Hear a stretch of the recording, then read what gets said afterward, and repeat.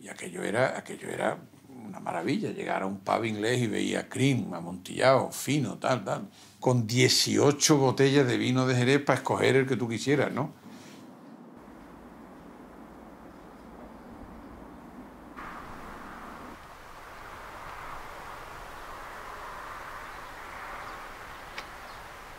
Al principio me tomaron un poquito en broma. Me decían, eh, ¿qué va a hacer una mujer? Una mujer en, en una bodega. ¿Qué va a hacer?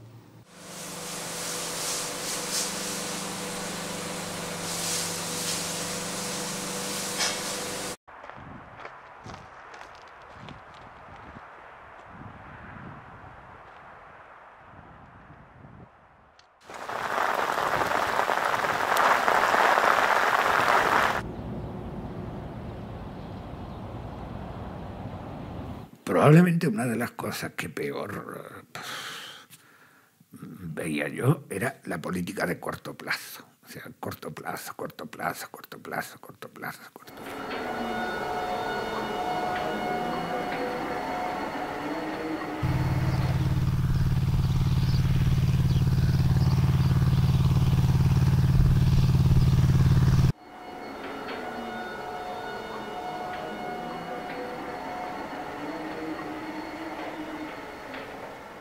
Los vinos que había están aquí.